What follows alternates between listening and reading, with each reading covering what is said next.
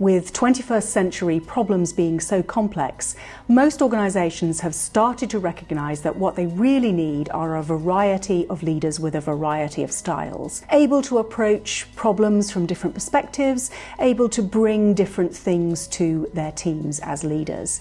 And that's why women have so much to contribute.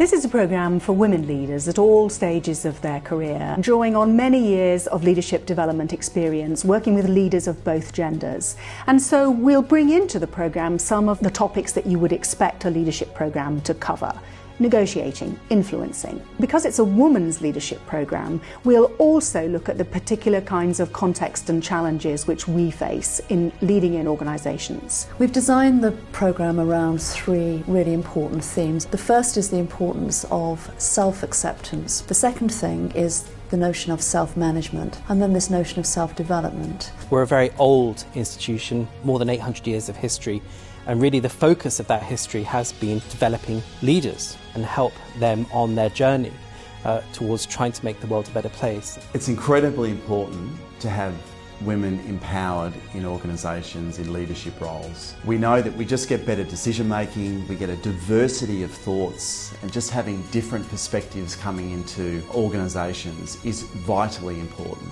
Investing in this programme is investing in yourself. Join us for this six week online Women's Leadership Development Programme with the Saïd Business School at the University of Oxford.